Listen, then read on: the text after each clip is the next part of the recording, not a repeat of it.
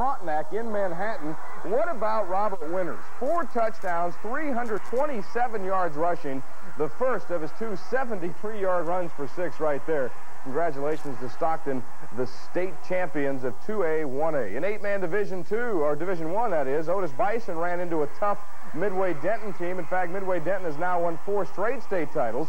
This one 27-6 over Otis Bison. It was close right up until Midway Denton scored 14 in the fourth quarter, one on a 69-yard touchdown run. Todd Caudle, the carry. Six of the last seven state titles for Midway Denton. Otis Bison trying to crumble the dynasty, came up a little short. Now, in eight-man Division Northern Valley continues on its way. The winning streak still intact. 20 to 6, the Huskies beat Attica in the state final game. B.J. Vincent ran for 137 yards and a touchdown in this one. So congratulations to Northern Valley High School and the town of Almena. Nothing like winning